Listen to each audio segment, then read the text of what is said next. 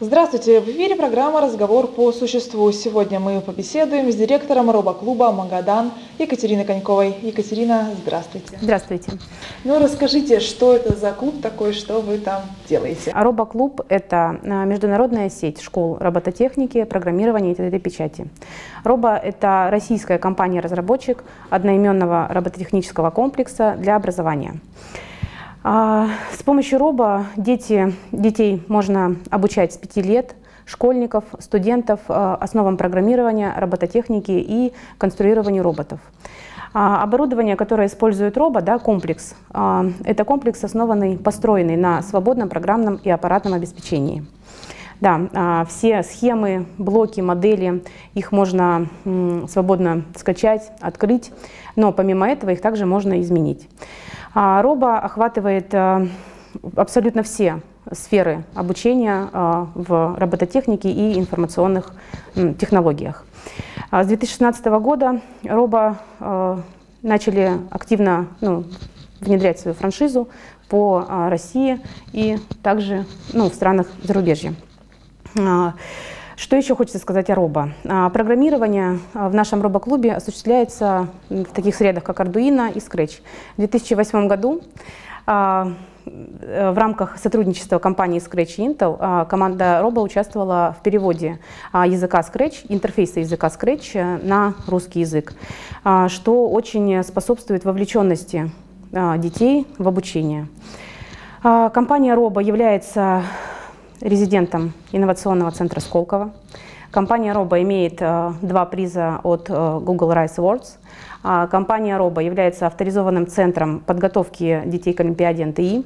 И, соответственно, ну, призеры этой Олимпиады получают дополнительные баллы к ЕГЭ. Что мы делаем с детьми? Мы берем детей, прокачиваем их знания в естественных науках, а, делаем их умнее. Аудитория робоклуба – это дети от 5 до 15 лет. Занятия в робоклубе развивают математическое мышление, а, а, закономерности, а, потом дают понятие об окружающем мире, это циклы, это время, это признаки предметов, конечно, основы алгоритмов, потому что ни одна компьютерная программа и ни одно компьютерное приложение без алгоритма ну, это начальная стадия да, составления. Целью, целью да, робоклуба а, является, идеей, вернее, проекта робоклуба а, является обучение детей а, в рамках э, свободного программного и аппаратного обеспечения. А, для того, чтобы дети были больше вовлечены а, в процесс, конечно же, процесс проходит э, ну, в игровой форме, это безусловно. Но для большей вовлеченности детей у нас есть замечательные роботы, которые имеют э, встроенный в прозрачный картридж, что позволяет детям рассмотреть микроэлектронику. А, и, соответственно, разобрать этого робота, собрать его заново, но при этом детки, учитывая, что у нас а, свободное да, программное обеспечение, которое можно, в принципе, ну, скачать, да, купить, вот, э, могут сделать что-то новое, изобрести что-то сами. Вот э, в этом, конечно, наш большой, огромный плюс. Вот, ну и мы будем воспитывать будущих инженеров, юных инноваторов, что а, так как сейчас у нас а, ну, в России а, большинство программ и ну, аппаратное обеспечение это все-таки зарубежное, то м, Робо хочет изменить эту ситуацию. Вот, и благодаря вот своим таким замечательным конструкторам и роботам а, сделать, научить детей а, быть инженерами, создавать что-то свое и, соответственно, ну, конкурировать уже не только на российском рынке, но и на э, рынке мирового уровня. А вот вы рассказали про два направления, да, какие-то очень интересные а, слова. А, вообще, на самом деле, это среды программирования. То есть Scratch это больше идет у нас для ну, деток, да, как бы. Arduino это больше уже для а, взрослых, а, ну, подростков, которые а, в дальнейшем собираются, к примеру, поступать, да, в какие-то технические вузы. Это, ну, очень Э, неплохая такая платформа э, для, ну, мы даем неплохое образование для этого. А, на самом деле дисциплин у нас э, это программирование, это алгоритмика, это 3D-моделирование. Да, вот недавно мы участвовали в фестивале «Калейдоскоп», приносили свой 3D-принтер, мы печатали кошечку, всех очень заинтересовало. 3D-моделирование а, не просто да, разработка модели, а, к примеру, а, разработка а, ковша для робота-манипулятора, да, чтобы он мог хватать что-то, переносить куда-то. То есть, э, ну, опять же, видите, для деток от 5 до 7 лет у нас не 3D принтер, у нас 3D э. Да, но это потому что как бы они еще маленькие, вот, им еще рано. Но уже дети, которые идут а, первый класс, да, ну и далее, то там уже, конечно, 3D-моделирование. Плюс схемотехника. А схемотехника, без нее, конечно же, никуда при конструировании ну, робота. Детки будут сами собирать робота, изучать основы, азы схемотехники и электротехники. А вот когда дети только приходят к вам, а с чего они начинают обучение, как начинают знакомиться? Первое, конечно же, да, что мы делаем, это учим детей а, технике безопасности, а, потому что роботы, электричество, схемы, ну, это все-таки как бы такое ответственное дело. А далее мы, ну вот с маленькими да, детьми, я просто к примеру приведу, мы начинаем программировать, ну не так прям программировать, да, вы представляете какой-то огромный код, что мы там что-то пишем.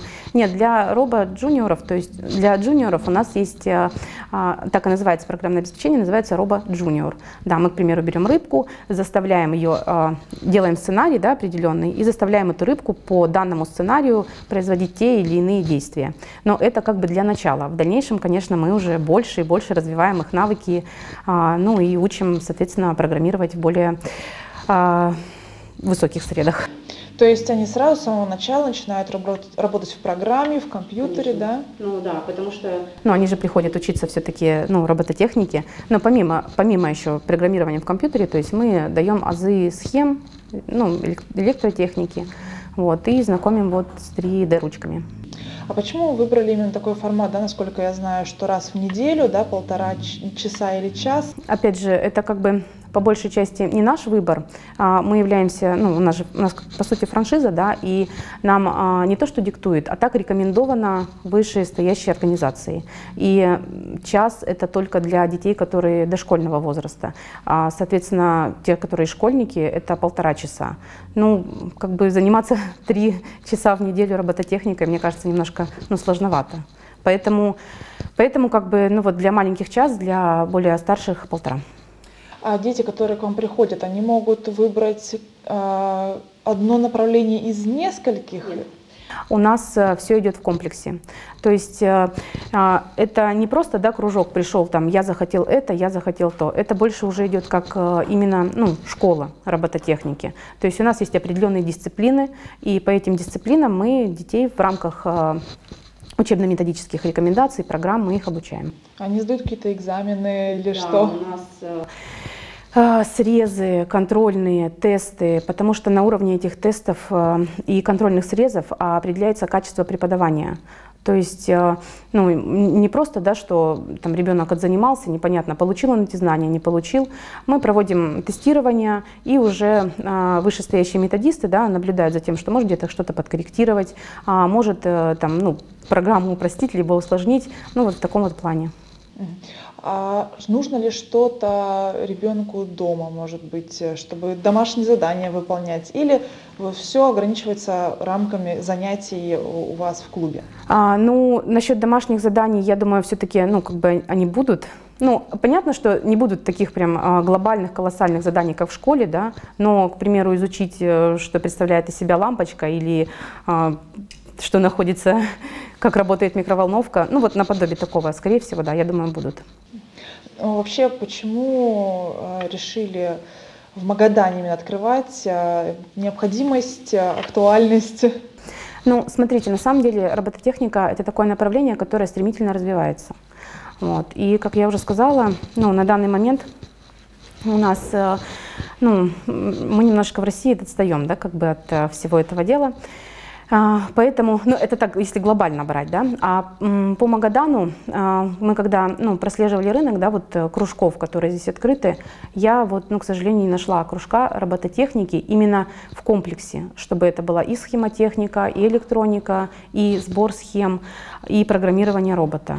Вот. И, ну, соответственно, на основании этого решили, подумали, решили, ну, как бы не просто подумали, мы помимо этого участвовали в детской э, она не Олимпиада, а фестиваль, по-моему, не помню, в 13-й гимназии проходила, и проводи, у нас была тема робототехника у ребенка, и мы проводили опрос. то есть опрос по параллели третьих классов. И вот на основании этого опроса как бы мы выяснили, что детям интересна робототехника, что они хотят ее изучать. И вот как-то само собой пришло, что в Магадане, опять же, нет вот именно комплексного подхода к изучению а, робототехники, программирования, ну и вот 3D-печати. К вам в клуб а, приходить а, нужно детям, если они вот решили а, сделать это делом жизни, или это будет полезно для всех? Я думаю, что вот это будет полезно для всех. То есть каждый найдет для себя чуточку чего-то, что ему необходимо. А, потому что, опять же, технологии развиваются очень быстро. Они просто ну, врываются да, как бы в нашу жизнь. И нашим детям с этим жить. Поэтому я думаю, в принципе, привести ребенка даже на пробное занятие. Пробные занятия у нас бесплатные, мы набираем группы, да. А, и понять, нужно ему это или не нужно, ну, то есть в любом случае можно. Но вообще вот э, вы проводили опрос, да, насколько это востребовано, насколько много желающих появилось к вам прийти? А, ну, смотрите, а, на тот момент, когда мы проводили опрос, а, у нас было только в планах да, открытие клуба. Мы планировали между собой, обсуждали, что же это будет, кого же, ну, конечно, изначально понимали, что это будет франшиза, вот, и очень долго выбирали, кого, ну, Лего, да, или Роба, либо еще что-то. И э, на тот момент у нас э, как бы, ну, мы не давали ни рекламу, не презентовали себя. А официальная презентация да, у нас прошла, ну, скажем, вот на фестивале «Калейдоскоп». А, ну, до этого рассылались да, по соцсетям, что мы там приходите, пробное занятие. Вот, э, сейчас После калейдоскопа, конечно, количество звонков увеличилось, э, желающих много, и мальчики, и девочки. Ну, им это интересно интересно, и я думаю, что, в принципе, это будет востребовано. Ну, давайте, может быть, покажете, что умеют ваши роботы, что чему научатся дети? Ну, вообще, изначально начнем, что один из роботов, да, это, он мне очень нравится, это а, робоплатформа, на которую можно цеплять э, ну, различные датчики, они находятся на магнитах, вот, и, соответственно, программировать эти датчики на определенные действия. Я вот, к сожалению, датчик света, вот он, давайте сделаем вот так. А что это вот значит, вы переставляете эти магниты? Это ну, гнездо для датчика. То есть они под номерами расположены. А, ну, для того, чтобы как бы, понять датчику, как он, что ему делает, да, он должен определенным образом функционировать с программным обеспечением. Он крепится в такое гнездышко, где находятся такие небольшие платы, которые помогают ему это делать.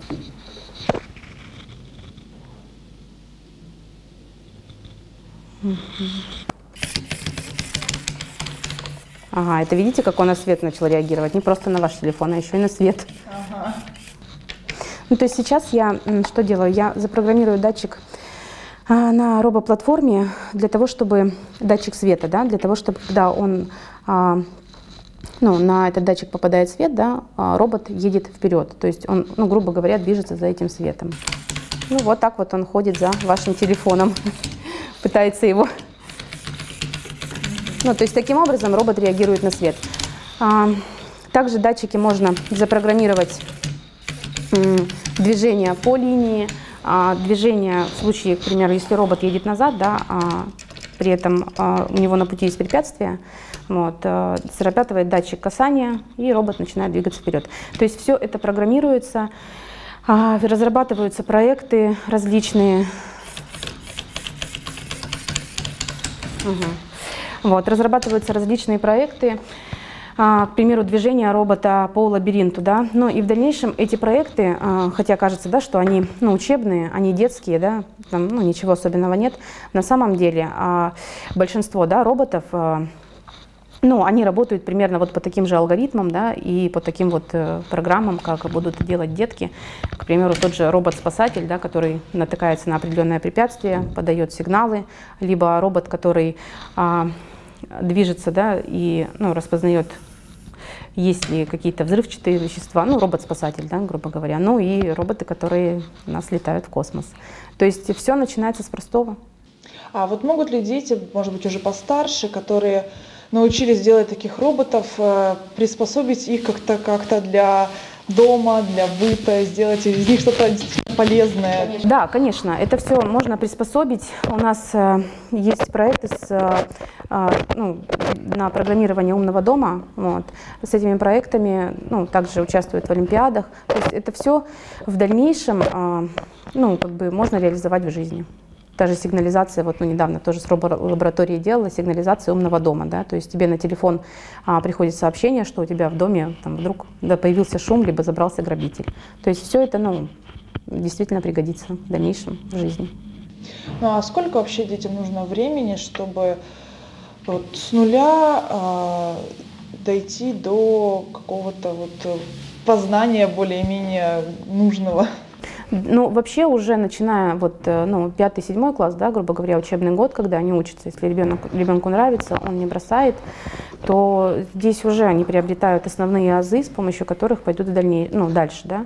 Но можно учиться три года, можно учиться четыре года. То есть наша программа для детей, ну, более старшего возраста, она тоже, в принципе, такая очень хорошая, очень ну, полезная, там разрабатываются приложения, разрабатываются 3D-игры, и уже не а, графический да, интерфейс языка программирования, то есть где тут ну, буквами, да, грубо говоря, написано уже взрослый да, язык, а, структурированный определенным образом, то, конечно, это ну, три года уже, это детки до 15 лет, ну, возможно, и старше. Вот вы говорили про Олимпиады, они как-то могут э, проявлять свои умения, да, да. где они участвуют?